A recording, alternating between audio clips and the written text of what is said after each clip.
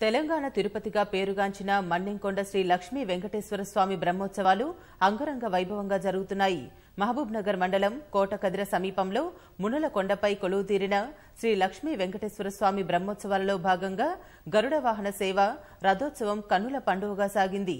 ఈ కార్యక్రమానికి మంత్రి శ్రీనివాస్ గౌడ్ స్వామివారిని దర్శించుకుని ప్రత్యేక పూజలు నిర్వహించారు.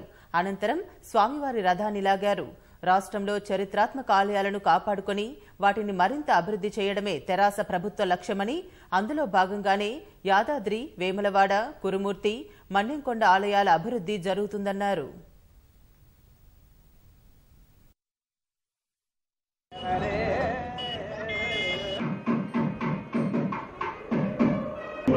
మౌలిక సదుపాయాలను కల్పిస్తూ అభి నేడు అనేక అంశాలలో ప్రగతి సాధించారు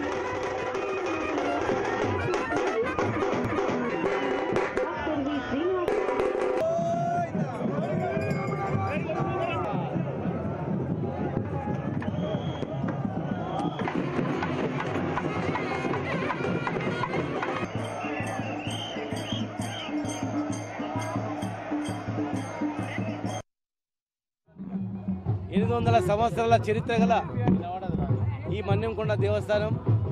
తీరుతే తిరుపతి తీరకుంటే మన్యంకొండ అని చెప్పి తిరుపతికి పోయే భక్తులు పోలేకపోయినా కానీ మన్యంకొండ వచ్చి మొక్కినా తలనీలాలు సమర్పించిన సమానమైనటువంటి ప్రాప్తి కలుగును అని చెప్పి ఆనాడు మునులు ఇక్కడ రచించినటువంటిది రాసినటువంటి చరిత్ర ఇది.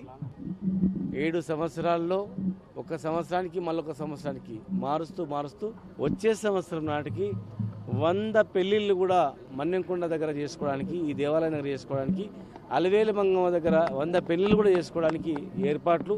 తిరుపతిలో మాదిరిగా ఇక్కడ ప్రారంభించినాం.